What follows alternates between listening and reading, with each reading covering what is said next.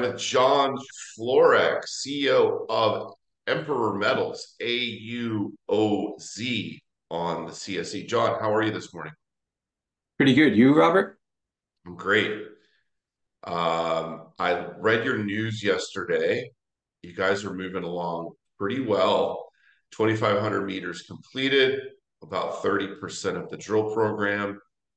And I'm excited to talk about uh, what you've drilled, you know, to date, and also this new target that you're testing right now, the NIP zone. Um, you know, this is a company that I've been following for several months now. Um, I bought some more shares a couple weeks ago, and the gold price cooperated. It's up $100 per ounce since I I bought some more shares of AUOZ. So I, I want to delve into uh, your background and the company and this year's program. Um, so just tell us a little bit about you, John, your background and, and how you came to be involved with the company. Yeah, sure. Um, I'm John Florek. I'm president and CEO of this company. I'm also a geologist. Okay, I've been in the industry for 35, well, close to 35 years. The first half was primarily in exploration. Um, subsequent half was in production. So I worked for companies like, um, you know, BHP early on, Placer Dome, Barrick Teck. Um, I most recently was working for uh, Agnico Eagle up at Detour Lake Gold, but I, before that I was with Detour Lake Gold. I went through the transition of Kirkland Lake and then to an Agnico Eagle. So I have a pretty good background working with the majors. In the production setting, I have worked underground at the storied Hemlo Gold Mines. I was working for basically Barrick there. And like I said, most recently I was up at Detour Lake Mine, started with Detour Lake Gold, which was subsequently acquired by Kirkland Lake and then Agnico Eagle. And it's one of their flagship properties now for Agnico Eagle getting close to producing a million ounces. That was a really interesting story. We can talk about that later. But that's who I am. And so I'm trying to leverage my career, well, leverage, you know, my experience in this space in both exploration and production into a junior. You know, I, I dabbled and I, you know, I was vice president exploration for some juniors along the way. That's where I met Alex Horsley. And initially, I was just the largest shareholder of this company. You talked about you getting in your shares just recently. I got all my shares in at 10 cents. I was just the, one of the largest investors of this company at one point in time. And I was incentivized to find a good project. So Alex Horsley and I, he's my business partner. He's the corporate development IR guy for the company. And we are working for the Metals Group, and we'll talk about that in a bit. But we were incentivized to try to find a project with some, you know, some sort of advanced stage project, with, which we would have some significant belief in that we can grow this deposit to something significant. And that's how we ran across this project and we optioned it. And we can talk about that further on your other questions, but that's exactly how I got involved. I, I was just an investor, and then the board of directors asked me if I would become president and CEO once we acquired this this property that we're going to talk about.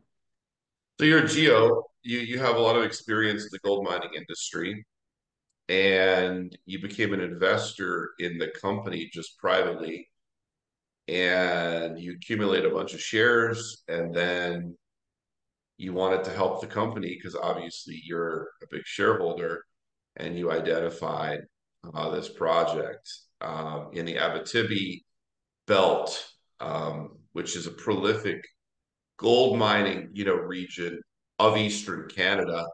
I'm looking at uh, in in the Emperor presentation, slide eight, and maybe you can uh, share your screen if if you want, John. But slide eight shows the location and uh, some of the the trends, you know, in the region. And can you um, share your screen? I need your permission to share the screen. Oh, I thought I made you. Oh, okay, there we go. Okay, I made you host. Sorry. Um, so yeah, so there's there's these fault zones, which are basically the target corridors for the gold deposits. Uh, it's not it's not super complicated, and uh, we're we're right along this porcupine uh, fault zone in the middle of many million ounces of gold.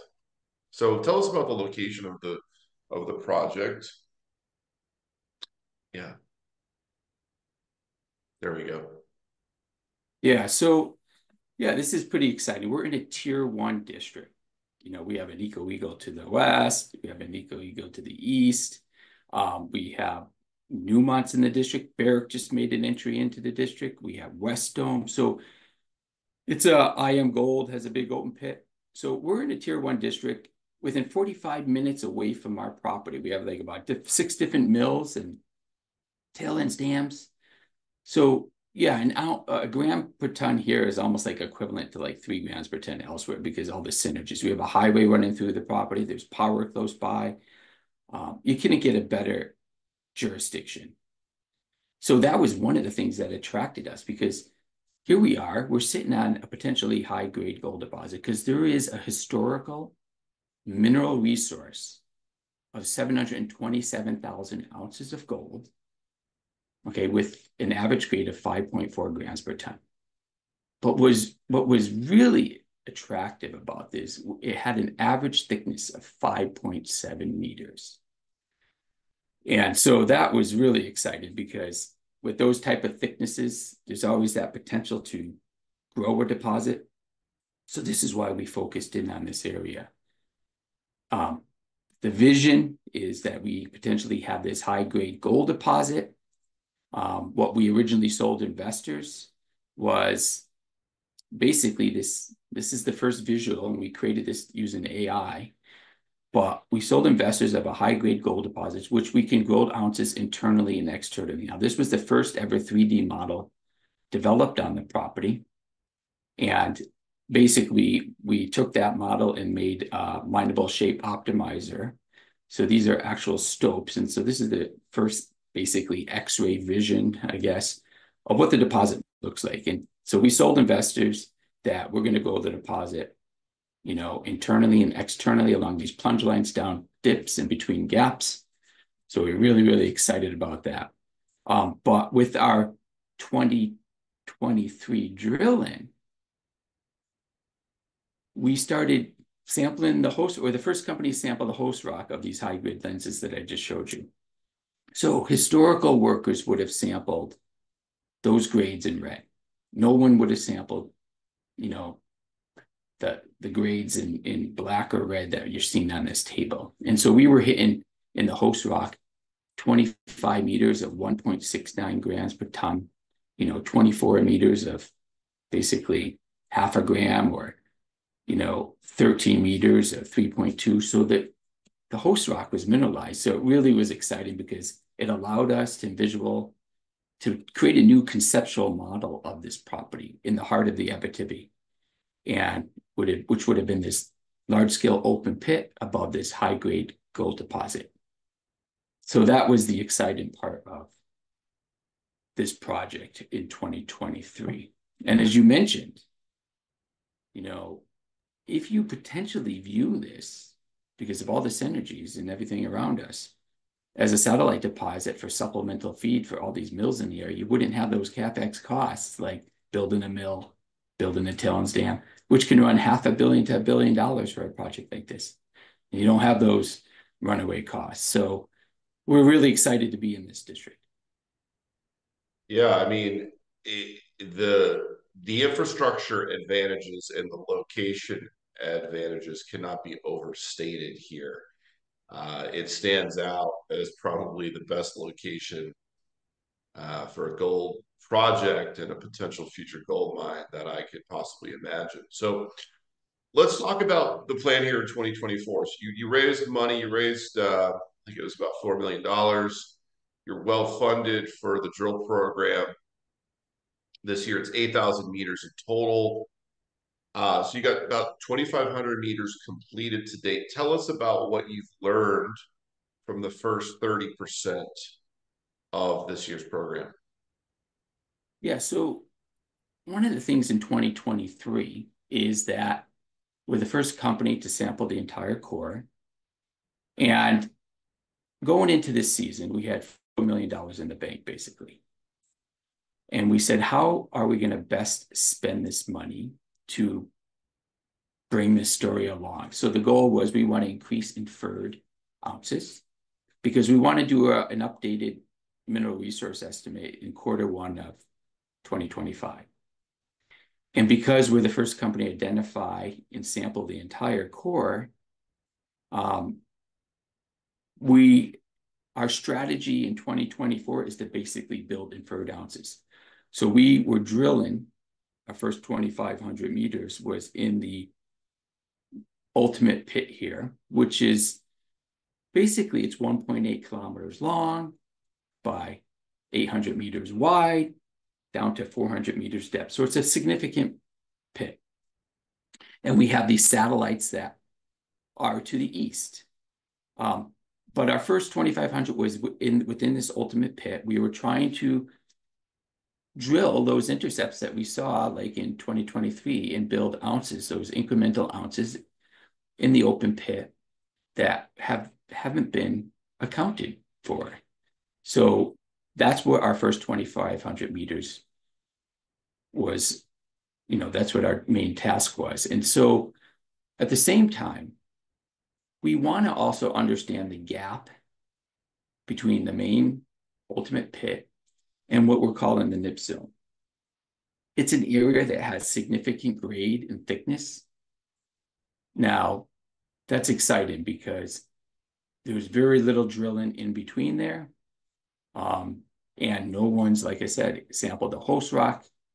You know, when no one cared in the past about you know, one or two grams per ton. You know, this is district was high grade gold. So no one ever really cared if they if had one or two grams per ton, they just wouldn't sample it because they were looking for five to 10 grams per ton type material. This is this whole district was famous for being high grade underground gold deposits, and which we have here. But we see the opportunity to potentially have a large scale open pit above a high grade gold deposit um, because of the anomalous nature of the host rock. And, you know, that would be pretty exciting because you could start building ounces a lot more rapidly in the open pit environment. And so that's what we're trying to do here. Okay, so yeah, the few que- a few follow-up questions there. So the drilling to date in the open pit footprint, um, it's it's to upgrade more ounces to the inferred category. I mean, that's what it says in your news.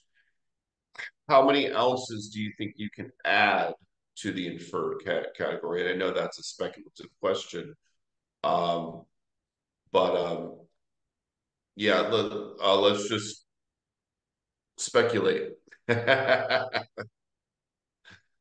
um, well, you know, the goal is we're going to try to double um, this resource because you have to start thinking about how the original historical mineral resource was calculated. It was calculated at $960 gold. Okay, so right now we're at, what are we at, 2,400 plus? Um, so they had a three grams per ton cutoff with a 30 gram per ton cap.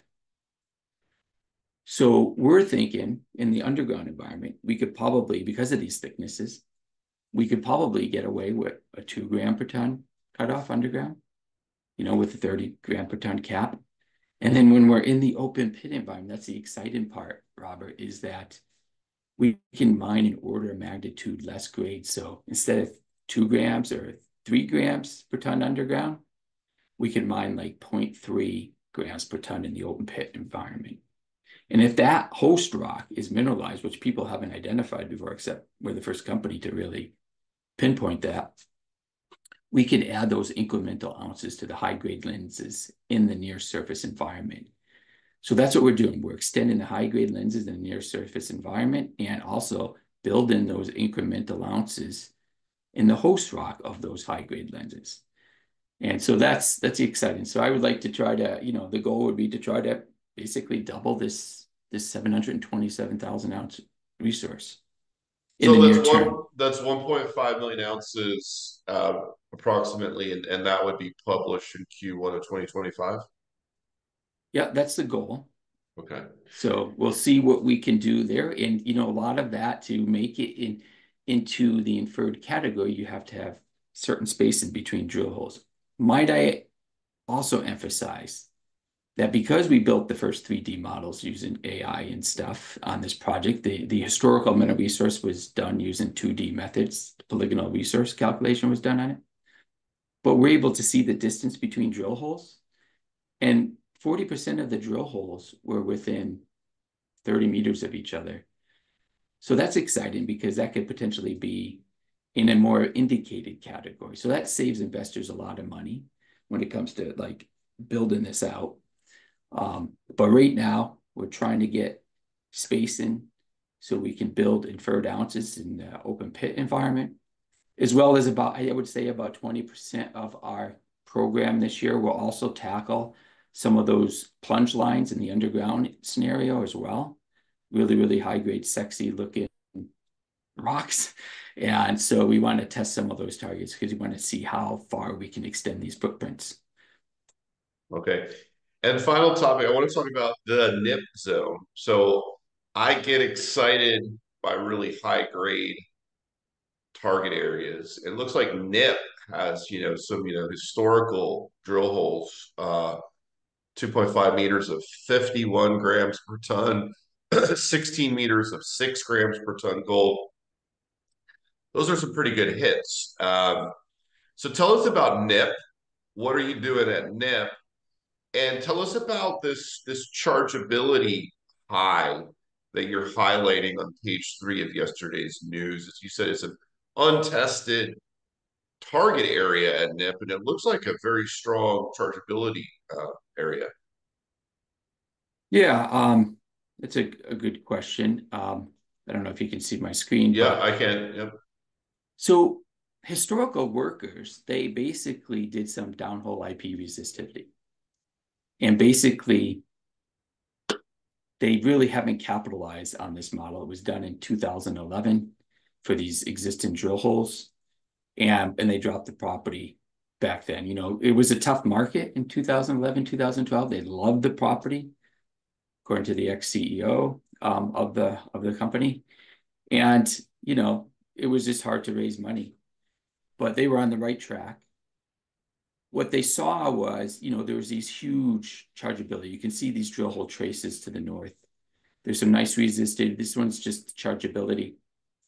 And there's untested targets, like big, big areas of high chargeability, which basically is disseminated sulfides. And that's what's carrying the gold a lot of, in this deposit. So, um, you know, it's a low sulfidation environment. Like one 1% pyrite is almost like two grams per ton gold. So we don't have a lot of sulfides, like the max amount of sulfides in any section of rock is about 10%. But that would care be very, very high grade stuff. 10% so sulfides see, would show up though as that strong charge, right? Yeah, absolutely. So okay. that's the the hot spots. So that that stuff in pink is the hot spots, which basically says that there should be more gold there in the broad areas. And you can see there's a limited extent on this model. We expect that to continue down dip, maybe a long strike. So we're going to try to understand, you know, what this historical model, um, how it could basically be used, applied to, to basically build this large scale open pit. And as we described before, we wanted to, um, we're starting to think like, how can we connect these satellite deposits? So maybe there is a, a huge opportunity to expand this ultimate pit eastward, or they'll have two big pits in close proximity to each other. So yeah, there's a lot of exploration. Uh, we have over 100,000 meters that been drilled on this property already. When you look at a project of this magnitude, you want at least 300,000 meters plus. So you look at our analogs in the district. Okay, they're like 300 to 600,000 meters for very similar projects. Um, and their their market cap is significantly higher. They're like 50 million to 200 million. We're still at like a $10 million market cap. So a huge opportunity for investors to get in on a, a pretty exciting project that's not well known. And what I've always said is maybe we just picked up this property just a little over a year ago. And we built the first AI models, the first mineralized model, the first geological model. Sometimes it takes, you know, years for companies to build a geological model. We did that all within one year. And now we have the first conceptual model. So maybe we're building the narrative too quickly for the market to digest. But here's a story that, that's moving right along with the gold price trending upwards. And um, like I tell every, all the investors out there recently is I'm really excited about Q2 earnings coming out with all the majors because, you know, gold's been at a robust $2,300, $2,400 in this quarter. And that's significant because when they publish their earnings in quarter two, probably mid-August, most of them, you know, we're going to see, you know, exceeds expectations or outperform in regards to profitability. So I think people's heads will turn and they'll start looking at um, our industry a little bit more closely. And here's a great opportunity of an undervalued from, company. From your lips to God's ears, John.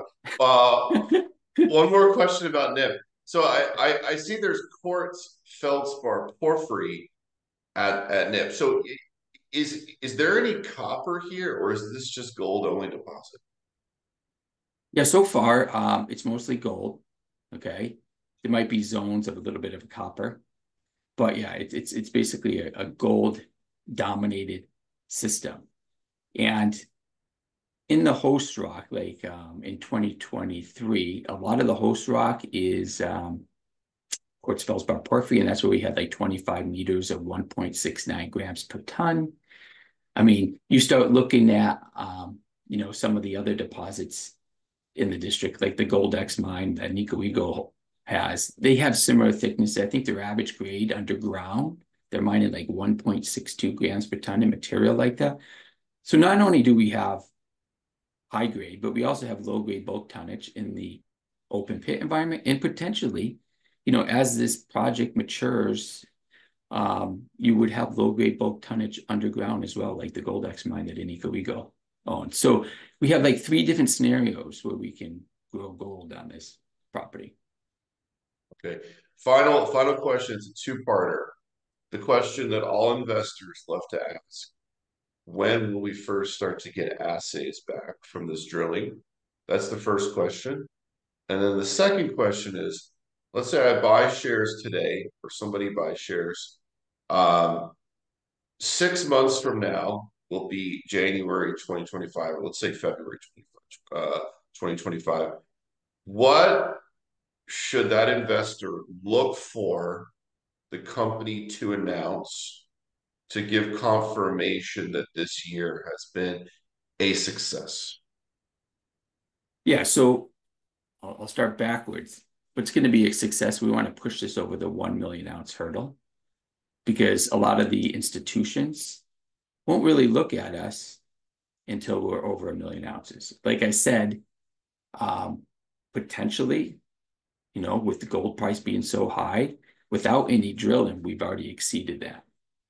So, because you could mine lower grades, especially with the open pit model above this high grade. No one's ever conceptualized that before. So that's number one. That's that that's the hurdle because institutions will start paying attention to us at a million ounces, as well as the majors coming in for a potential equity stake because they have mills in the district that basically need additional feed. They're under capacity. So this is a nice little, you know, hopefully growing deposit. You know, we see this as, you know, in the near term, you know, 2 million ounces in the long term. Um, you know, from a thousand meters up, two to six million ounces and growing potentially at depth. These deposits grow at depth. But to answer your question, that is um, what we're trying to achieve. And news flow, we have 16,000 meters of core to assay. So 8,000 meters of drilling and 8,000 meters of historical core sampling. As I mentioned, the host rock for these high-grade mineral mineralization has never been sampled. So we have 16,000 meters of news flow for the low price of $3 million. So you're looking at under $200 all-in cost for this project. You look further north and people are six to eight hundred dollars a meter. So we are we're doing pretty good in regards to constraining our costs and giving the investors, you know, more bang for their buck. So um, yeah, um, that's a lot of news flow. I think that September we'll start seeing it come out. There's been some delays with manpower with some of our contractors, uh, both on the drilling side and on the um, contract geology side. We're using Technominex based in Rouyn. They're a great outfit. I think um, some of the majors are using them too. So, you know, they had some recent people depart and we had to fill some of these gaps. So we're a little bit behind schedule in regards to getting the, the you know, the core to the assay labs, but we're continuing the drill. It will get cut and it will get sent to the assay lab. But um, yeah, I'm thinking September, you know, the results start coming in. Okay, so the results start coming in in September and flow through the rest of the year and possibly into January. And then resource will be updated in Q1 2025. And we're shooting for between 1 and 1.5 million ounces. Yep. Okay, great, John. Thank you so much for your time and look forward to speaking again in August. Okay, thank you very much. Thanks, Robert. Cheers.